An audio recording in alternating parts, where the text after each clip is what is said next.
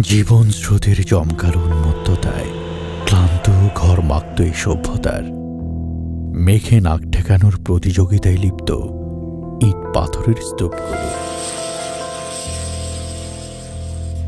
বৃদ্ধার ক্ষয়ে যাওয়া দাঁতের মতো দাঁড়িয়ে পরিশ্রান্ত অস্তিত্বে, গৌরবের নেশায় টলতে টলতে কোমর ঘেঁষা মহাসড়কের সাঁই সাঁই করা অজস্র ইঞ্জিনের থমকে যাওয়া দানবীয় যানজটের সাক্ষী। কখনো কোনো একটা শান্ত, ভেজা, স্নিগ্ধ ভরের অপেক্ষায় শুষ্কতা লালন করে। যেখানে প্রভাতী হলুদ আর সবুজের মতো আলিঙ্গনে আড়মোড়া ভাঙে।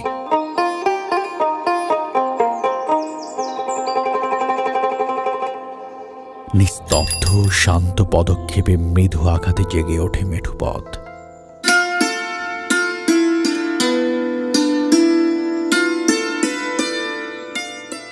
অতঃপর একটু একটু করে দ্রুততার ব্যস্ততার কাঁচা অভিনয়।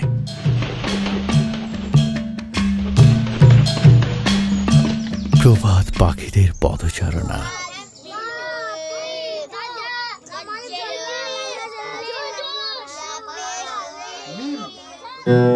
কোনো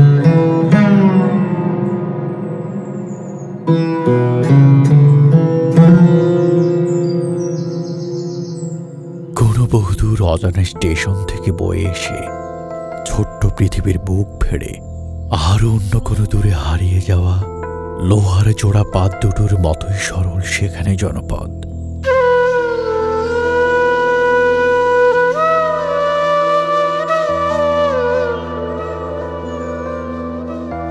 সরলতার অভ্যস্ততায় জড়ানো সুখ। হৃদয়ের বাঁধ ভাঙে নিষ্পাপ শৈশবের সোনাঝরা আনন্দে।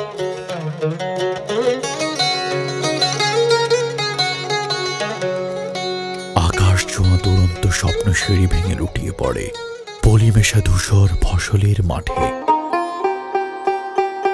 মাটি মানুষে মিশে যাওয়া সত্য স্বচ্ছ গল্প কথা।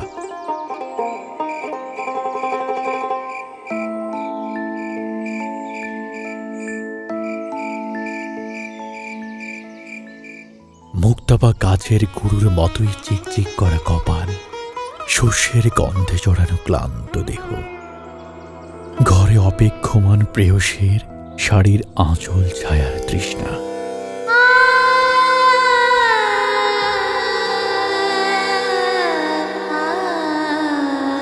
পাখির পালকের মতো কোমল কথুলি বাড়ি ফেরার আয়োজন। আর ইউনুসের দিন অন্ধকারে জেগে বসা তীব্র রাত। কখনো কোথাও একটি দুটি সন্ধ্যায় জীবিকার উচ্ছিষ্টের খরচে উৎসবে সমাগম।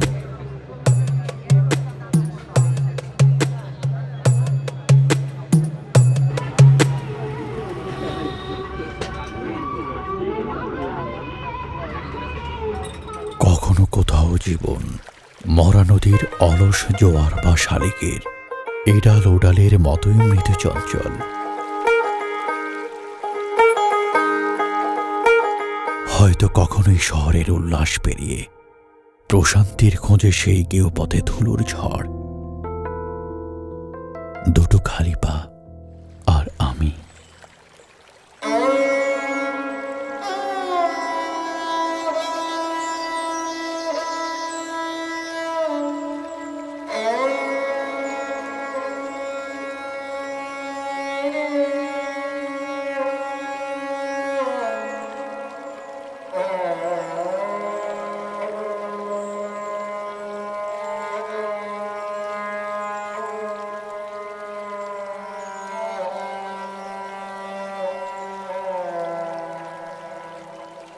Oh.